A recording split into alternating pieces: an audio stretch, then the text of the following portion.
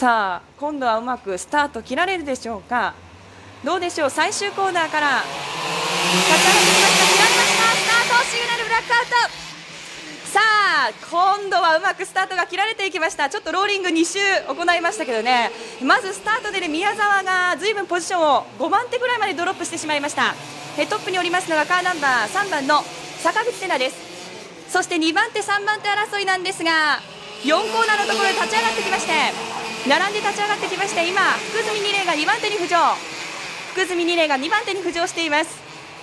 オープニングラップでえー、相当ですね。先頭集団のポジション入れ替わりました。3番手にはカーナンバー6番です。高橋治之3番手に浮上しています。4番手に大湯5番手に宮沢。ここまでが先頭集団と言っていいでしょうか。少しその後ろ空きましてカーナンバー8番の斉藤がつけています。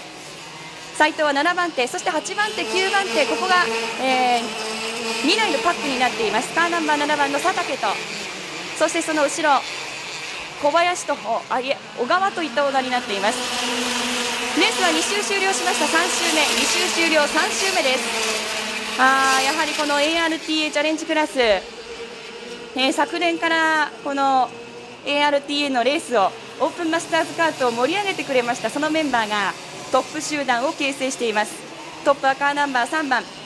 昨シーズンは1勝しかできなかった。きっと本人の中では不服だった。1年だったと思いますがカーナンバー3番の坂口瀬奈が最終コーナーからトップで帰ってきます。さあレースは3周終了4周目。3周終了4周目です。坂口2番手には福住。昨年のチャンピオンです。ARTA ジュニアクラスのチャンピオン。そして3番手には2年前の ARTA チャレンジクラスのチャンピオン高橋治之がつけています。4番手に赤ナンバー5番宮沢和樹。この ARTA のレースでは近年見ておりませんでした顔なんですが全日本の方ではもうおなじみです。契約2などでここ数年参戦をしておりました宮沢和樹が今4番手につけています。5番手にはカーナンバー1番の大湯俊樹というオーダー。大湯俊樹も昨シーズンはスカラシップを取りましたメンバーです。そして少し空きましてえー、斉藤、そして佐竹とこういったオーダーになっています。えー、斉藤、佐竹の後ろなんですが少し相手カーナンバー9番の小川。今回のスポット参戦のドライバーです。さあレースは5周終了しました。6周目。周回数は全部で15周です。トップは坂口瀬奈まあ、先ほども昨シーズンは1勝と言いました。オープンマスターズカートの ARTA ジュニアクラスでシリーズ第4位でした。ですが昨シーズンはジャフジュニアの西地域から参戦をして統一戦でもトップそしてシリーズチャンピオンを獲得しましたドライバーです。もうメディアなんかでも引っ張りだこのドライバーなんですけどね。カーナンバー3番の坂口瀬奈がトップを走行しています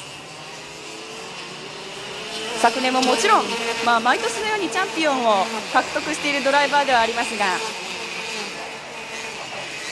また昨年からの勢いに乗せてですね今年もフォーミュラへの道を開くべくこの ARTA チャレンジクラスにも参戦をしてきました。坂口がトップそして2番手のカーナンバー2番の福住、えー、なかなか寄せつけることができません。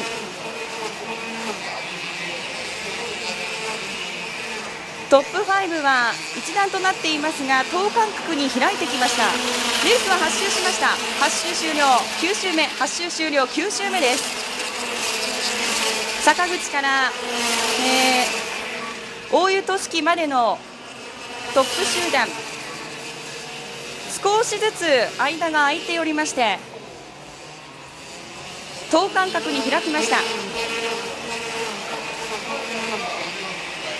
坂口から大湯までこの ARTA チャレンジクラス今年もねレベルの高いバトルを期待していきたいと思いますがまずその開幕戦。え、きっとですねこのシーズン最後までチャンピオン争いがもつれ込むであろうそんなメンバーが今トップ集団トップ5を形成しております、まあ、なかなかバトルにすぐ持ち込むことはできないそんな感じもいたしますけれどもね、等間隔に離れてまいりました、え、そして少し空きましてカーナンバー8番の斉藤も単独です。そしてわずかに空きまして佐竹と小川、え、ここも今すぐにバトルが起きそうな感じではありません。まもなく最終コーナー。レースは10周終了11周目。レースは10周終了11周目に入ります。残り3分の1になりました。さあトップの坂口瀬奈なんですが31秒、えー、先ほど269、31秒269、2番手の福住は31秒293、31秒293、わずかにですが、やはり先頭の坂口瀬奈の方が先ほどいいラップタイムで周回しておりましたが、さあ今度はどうでしょうか？あやはりですね坂口の方がコンマ2秒ぐらいいいペースで周回をしております。なかなか福住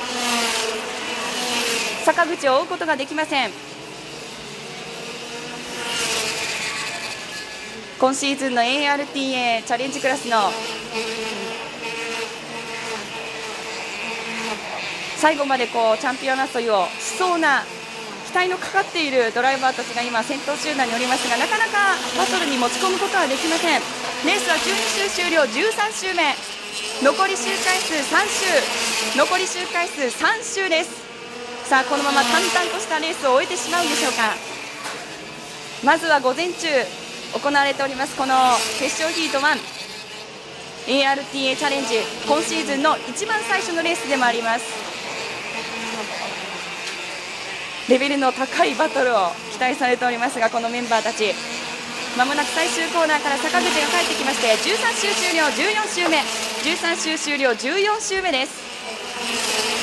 えー、若干なんですが5番手の大湯がちょっと遅れてきたかなというような感じがいたしますが、えー、前の宮沢を追うことはできるんでしょうか、えー、先ほどの周回でベストラップ出しましたのがカーナンバー6番。3番手を走行します。高橋治之です。31秒293でした。31秒293しかしながら先頭の坂口瀬奈とそんなにペースは変わりません。えー、やはりですねトップの坂口はいいペースで周回をしておりまして今ファイナルラップに入ります。カーナンバー3番。アイリコン背中から名前を取ってつけられました。今も一族の期待を一身に背負ったカーナンバー3番坂口瀬奈がもう間もなく最終コーナー。姿が見えてきます。さあ何事もなくこのレース淡々と終了してしまうんでしょうか。カーナンバー3番の坂口瀬奈が大きく手を挙げてトップチェッカーを受けていきました。2番手福住3番手は高橋。4番手はカーナンバー5番の宮沢和樹。5番手カーナンバー1番大湯。6番手はカーナンバー8番の斉藤。7番手はカーナンバー7番の佐竹。8番手はカーナンバー9番小川。9番手はカーナンバー10番の小林。10番手はカーナンバー12番の京武そして11番手はカーナンバー11番の、えー、佐藤健一ということになります。